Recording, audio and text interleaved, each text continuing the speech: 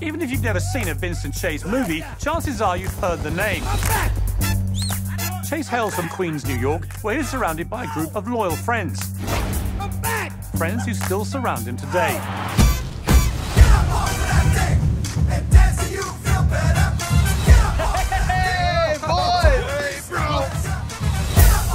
We'll be right back. Nobody leave.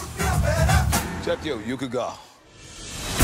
Vinny Chase. Ari Gold. I hear you got something for me. My first movie is Studio Head, and boom, I want you to star in it. Whatever I do next, I also want to direct. Ari. Does he even know how to direct? Ari?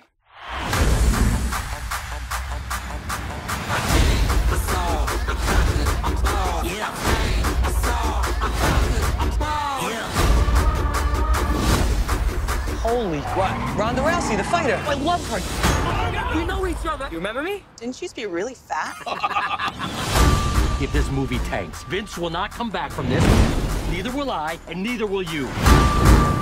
This could get ugly. Trust me, it's all good. Oh my god. Doctor says she's gonna pop any second. What's wrong? We got a sex tape. Oh, God. I'm getting married. Oh, God. We need more money. Bye. Oh, God. I gave you a $100 million. You agreed to not go over. Because you said I couldn't direct unless we agreed. It's like when a girl asks if you want to bang her hot sister. Of course you say no. Neither of you really believes you mean it, though. What is he doing here?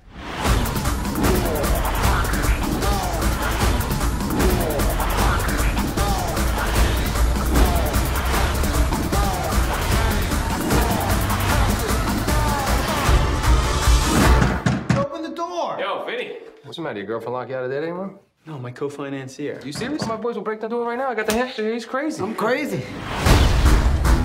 Take me for a round. I last 30 seconds. You let me take you out on a date. Last 60 seconds, I'll let you.